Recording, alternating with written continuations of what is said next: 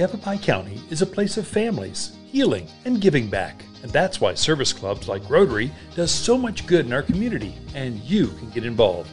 Rotary is partnering with Prescott Schools, Dolly Parton's Imagination Library, Bradshaw Mountain Interact Leadership Club, and more. Each helps students up their skills, graduate on time, and become stronger citizens. They're doing amazing work. On September 25th, Rotary is hosting a Grapes for Good garden party.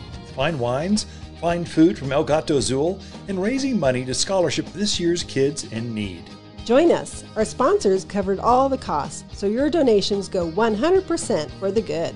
The party is in the gardens here at Watters Garden Center, with tickets sold at Watters, Olson's Grain, Prescott True Value, and online at PrescottFrontierRotary.com. Join us on September 25th for the 16th annual Grapes for Good at Watters Garden Center in Prescott.